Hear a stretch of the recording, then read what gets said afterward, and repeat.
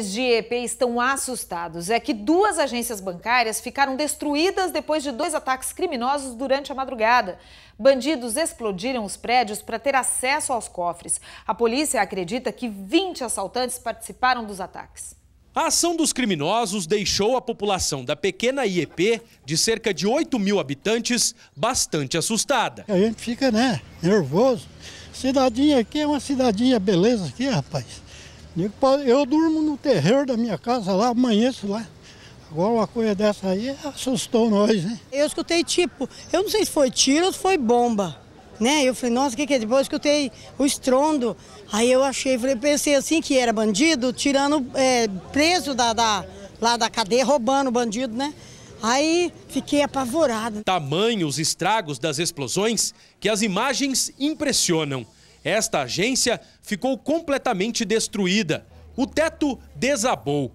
Portas e janelas ficaram estilhaçadas. Os móveis também foram danificados. O visual é de um prédio em ruínas.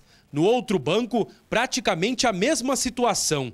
A pilha de entulho ficou acumulada por todo o interior da agência. Dia de limpar o que restou. Segundo a polícia, desta vez o alvo das explosões não eram os caixas eletrônicos. O habitual são os caixas eletrônicos. Aqui extrapolou. Eles buscaram os cofres no interior das agências, tá? os, os cofres das agências, onde acreditamos que esteja um valor maior ainda de dinheiro. Imagens de uma câmera de segurança flagraram os bandidos momentos após uma das explosões. Eles correm e entram no carro inclusive no porta-malas. Oito criminosos fogem no mesmo veículo.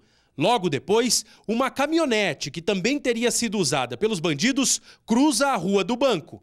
A polícia acredita em 20 criminosos envolvidos. Nós já estamos trabalhando na identificação dos veículos, é, através das imagens do, da, de, dos sistemas de monitoramento de comércios, do próprio banco, aguardando esse, essa resposta do banco, da, das filmagens é, que ocorreram no interior da agência, para identificar os autores. Nessa ação simultânea nos bancos, os bandidos fortemente armados deram vários tiros para o alto. Isso é uma forma que eles usam para intimidar a polícia e também não deixar que nenhum morador se aproxime. Essas cápsulas de espingarda calibre 12 e também de pistolas 9mm estavam espalhadas nas ruas. Em meio aos escombros, ainda são encontradas diversas notas como essas. A tinta é uma medida dos bancos para marcar dinheiro que é roubado em casos assim. A gente está em frente à base da Polícia Militar, em EP. Ela está fechada e tem um recado ali na porta. Estamos em patrulhamento, por favor, ligue 190.